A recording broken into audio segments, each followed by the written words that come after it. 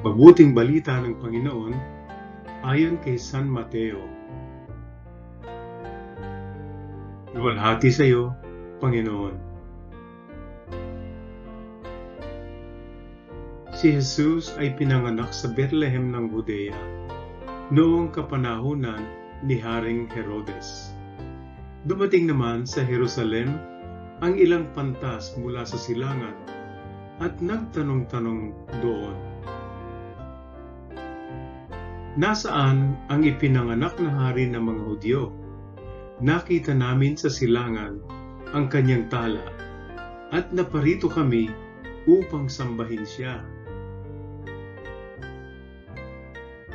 Nang mabalitaan ito ni Haring Herodes, siya ay naligalig. Gayon din ang buong Jerusalem. Kaya't tinipon niya ang lahat ng punong saserdote at mga eskriba sa Israel at itinanong sa kanila kung saan ipinanganak ang Mesiyas. Sa Bethlehem po ng Judea, tugon nila. Ganito ang sinulat ng propeta. At ikaw, Bethlehem, sa lupain ng Huda, ay hindi nga huli sa mga pangunahing bayan ng Huda, sapagkat sa iyo lilitaw ang isang pinuno na mamamahala ng aking bayang Israel. Nang mabati dito, lihim na ipinatawag ni Herodes ang mga pantas at itinanong kung kailan lumitaw ang mga tala.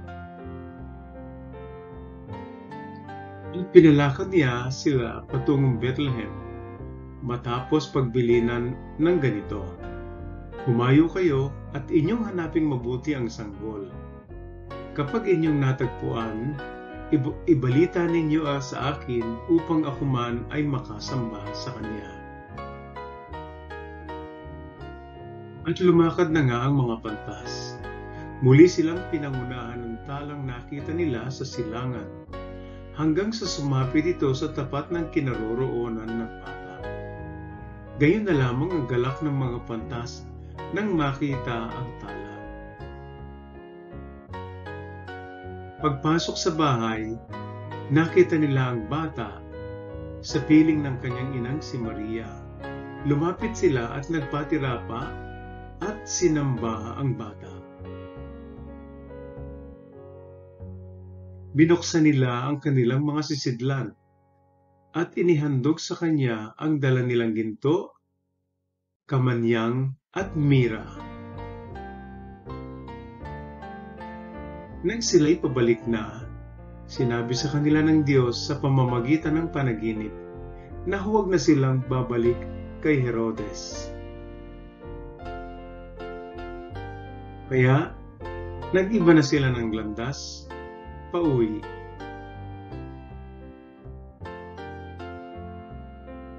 Ang mabuting balita ng Panginoon.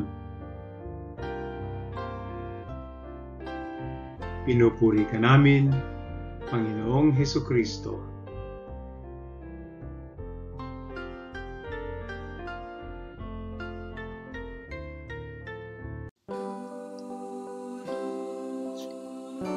Good evening, everyone. On entering the house, they saw the child with Mary, his mother. They prostrated themselves and did him homage.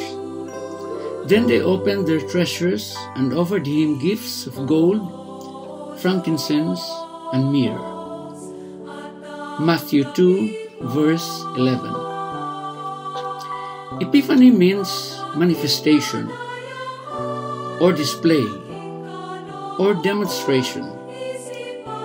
And the Epiphany of the Lord is Jesus' manifestation not only to these three magi from the east, but it's also a symbolic but real manifestation of the Christ to the whole world. These magi, traveling from a foreign and non-Jewish nation, reveal that Jesus came for all people and all are called to adore him. These magi were wise men who studied the stars and were aware of the Jewish belief that a, that a Messiah was coming. They would have been versed in much of the wisdom of the day and would have been intrigued by the Jewish belief of the Messiah. God used what they were familiar with to call them to adore the Christ. He used a star Then they understood the stars, and when they saw this new and unique star over Bethlehem, they realized that something special was happening. So the first lesson we take from this is for our own lives is that God will use what is familiar to us to call us to Himself. Look for the star that God is using to call you. It's closer than you may think. A second thing to note is that the Magi fell prostrate before the Christ child. They laid, they laid their lives down before him in complete surrender and adoration. They set a perfect example for us. If these astrologers from a foreign land could come and adore Christ in such a profound way, we must do the same. Perhaps you could try literally lying down prostrate in prayer this day, in imitation of the Magi, or at least do so in your heart through prayer. Adore Him with a complete surrender of your life. Lastly, the Magi bring gold, frankincense, and myrrh. These three gifts presented to our Lord show that they acknowledge this child as a divine king who would die to save us from sin. Gold is for, is for a king. Frankincense is a burnt offering to God, and myrrh is used for one who would die. Thus, their adoration is grounded in the truth of who the child is.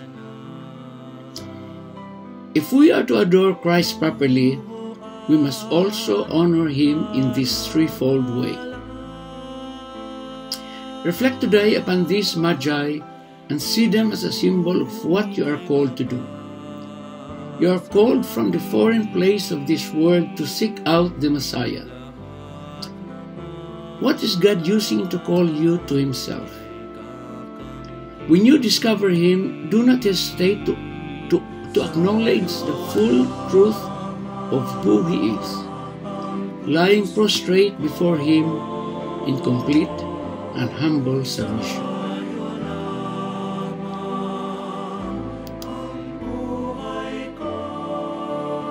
Mga kapatid sa pananampalataya, pinagdiriwang natin sa loob ang kapistahan ng pamilya. Alala mo ay pagsisiwan ating Panginoon Diyos. Si Kristo ang ilaw sa mundo. Siya ay nag sa kadiliman. Sa kapistahan, ipinapahayag sa sa napaka big mamama. Sa pista nito, kanya may isang misteryo sa San Sinod. Saan eh, naglutupisem sa pamagitan Ajay ang alaw galing sa silangan at sa salang at sa ating Diyos.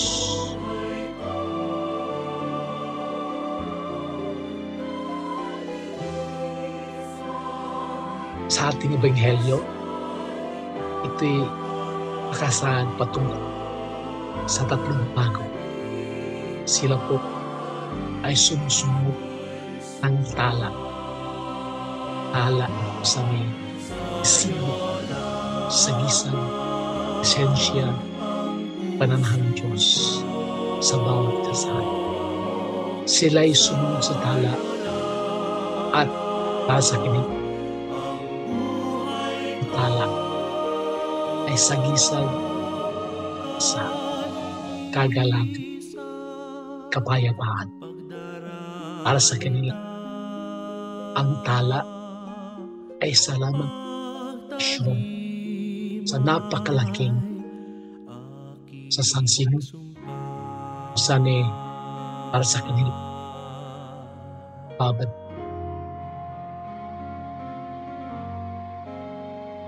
katut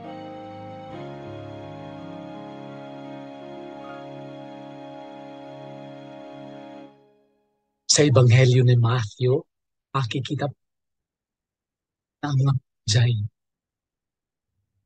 ang mga maalam sa silangan ay nakatagpo sa ating sa pamamagitan ng talang.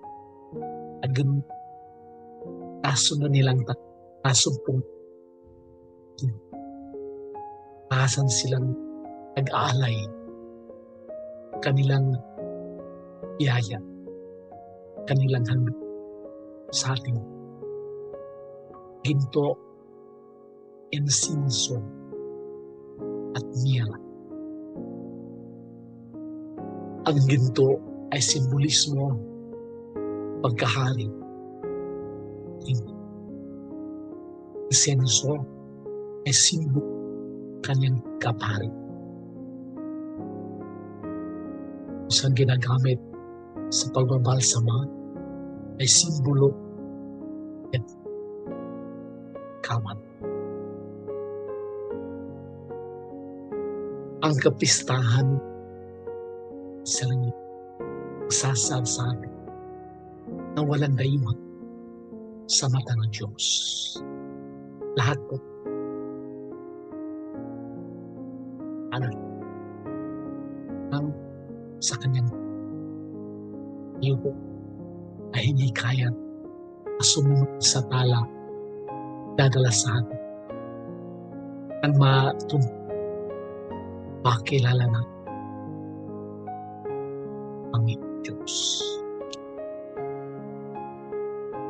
Sabihin, dahil tayo mag walang dayuhan sa isa sa atin, hinihimo kapin isa.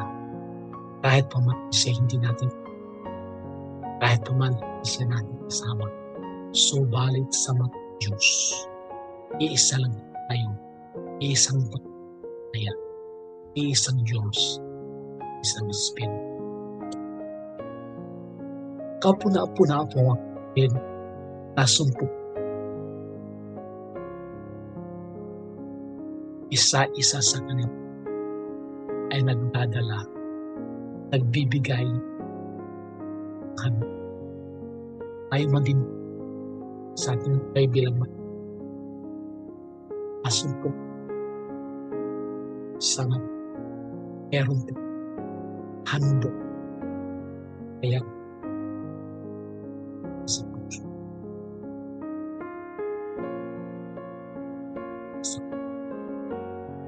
kaya man pero isa kasiyan sumpo Diyos. Mga kapatid sa panahon kahit sisiwa sa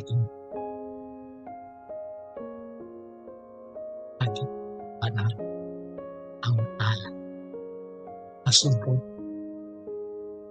dalam saking seru segitu Suleman tabiku kabama India antamaya